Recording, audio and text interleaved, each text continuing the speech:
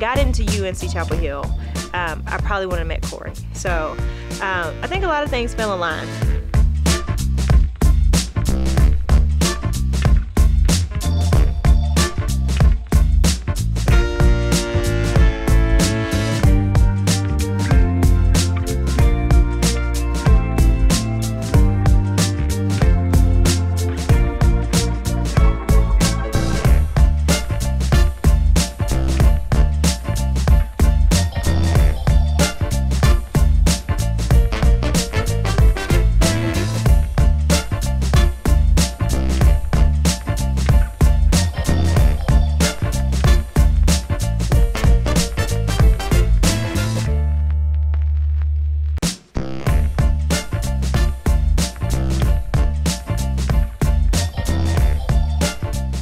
It's always a blessing to find that one that, that person who you feel like makes you complete.